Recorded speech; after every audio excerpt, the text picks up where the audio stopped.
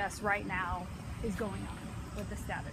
Uh, as far as the status, right now, uh, there's a BCA agent working with our investigators, our local investigators, uh, with the potential suspect, and I say potential because we're still trying to figure out exactly what happened, and working on that part of the investigation. We're waiting for the BCA crime scene team to arrive here in Northfield uh, to do the, the uh, investigation inside the house. So we also have local investigators from the Northfield Police Department and from the Cannon River Drug and Violent Offender uh, Task Force that are typing the search warrants right now and applying for search warrants so that by the time the BCA team gets here, we can uh, let them get started on evaluating the scene. Okay. And what can you tell us from this morning, kind of how things unfolded? So at about 7.50 this morning, uh, our Consolidated Dispatch Center in Owatonna received a call from a reporting party saying that uh, there was an intruder of some sort and that someone had been shot. The, uh, so our officers responded to that call. Uh, officers from the State Patrol, Rice County Sheriff's Office, and Dakota County Sheriff's Office also assisted our officers in responding here. And uh, once they entered the home, they found two people in the home. Um, one was the victim, uh, an adult, immediate care was given to the victim. And then there was another person in the home, the reporting party. Um, that person was taken into custody at that time. And uh, Northfield Hospital EMS ambulance crews, along with our officers, uh, gave care to the victim. And eventually the victim was pronounced uh, deceased at the scene. And anything you can say about their relationship? At this time, no, I, we don't have anything solid as far as information. I don't want to speculate because it just wouldn't be fair and it might not be accurate. And tell me about um, Northfield um, shootings, homicides. Has it been a while? Um, it's it doesn't happen that often. Um, thank goodness. It is kind of rare. I think our last shooting was in the summer of 2013 or 2014. Brad might be able to tell us. Um, downtown. That was kind of a random act. Um, kind of a strange one. Really, we don't have this type of activity in Northfield very often. Um, but I think this is one of those circumstances where every chief in the country will tell you, you just never know. It doesn't matter if you have 200,000 or if you have 100 people living in town.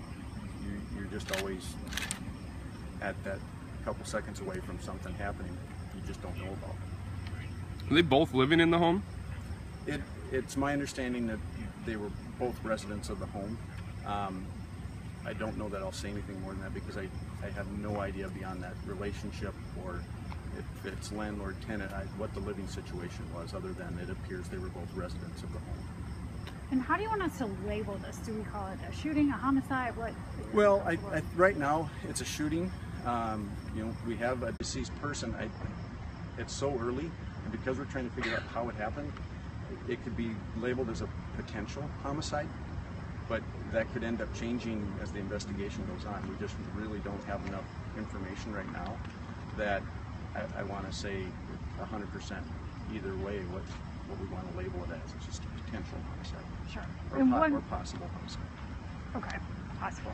Um, one thing too we want to ask you about, people always get um, nervous, especially in towns where this doesn't happen. Um, for people who are maybe scared or unsure, what do you want to get out to the community? Uh, that there is, we're not aware of any danger whatsoever to the general public. Um, this is an isolated incident that appears to be isolated to just this residence, and um, the public should not be afraid. Uh, there's nothing that says anyone else would be in danger or was in danger even during the incident. Anything else we haven't asked you that you want to get out there? Any- I don't know, Brad, if you have anything. Are you willing to reveal sex of the victim? No, not at this time. I just, like I said, I think I've told people we want to be really careful. We're going to have to obviously be notifying family of uh, victim and even for the other person involved, our um, potential possible suspect that we're interviewing right now. I don't want to give out information that suddenly the family sees something on the news and they start speculating that it's their loved one because we don't even have family information yet for either one of the individuals. So. uh, Still doing next of kin notification or haven't even I started? Haven't even Okay. gotten there yet. So 'Cause we need, definitely we need need more some more. information before we can start notifying next of kin. Is there any known connection between the victim and the alleged shooter? Uh, Other not- than- not, I- not other than what I already said that Sure. they appear to both reside in the same home.